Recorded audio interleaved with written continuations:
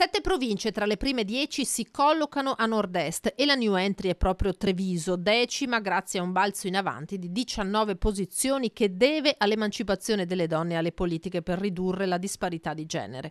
La classifica della qualità della vita, stilata dal quotidiano Il Sole 24 Ore, premia la marca grazie ai nuovi parametri introdotti tra i 90 indicatori presi in considerazione. Prima in Italia dunque Treviso per qualità della vita delle donne. Questa è una grande soddisfazione che paga lavori partiti da lontano. Io penso che tutto trovi mh, lo start-up, la partenza da quando gli enti pubblici sono chiamati a stilare i piani di azioni positivi per la questione di pari opportunità. Quando arrivano a questi risultati significa che la strada intrapresa è quella giusta sulla quale comunque c'è ancora molto da fare. Politiche delle grandi e piccole cose, quelle che le amministrazioni stanno mettendo in campo in questo senso. Oggi c'è il tema della, del rispetto della donna, per esempio, il tema dei femminicidi, ci sono tanti temi da affrontare, i temi dei padri separati che non hanno magari diritto eh, a vedere i propri figli nel momento in cui le famiglie eh, si rompono, ce ne sono questioni di genere sia da una parte che dall'altra. Nel confronto e nel dialogo si trovano le occasioni migliori e le soluzioni migliori per appianare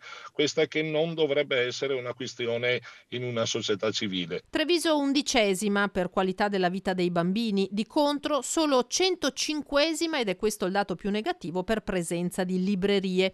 Rimane positivo l'indice della criminalità con la marca quartultima in Italia per numero di denunce ogni 100.000 abitanti. Province che devono tornare a essere dei punti di riferimento anche istituzionali, conclude Marcon, a pochi giorni dal rinnovo di Presidente e Consiglio bisogna tornare a dare la possibilità ai cittadini di esprimersi. Anche questo è un criterio democratico che potrebbe consentirci di fare ancora qualche passo in avanti quando, si, quando parliamo di qualità della vita.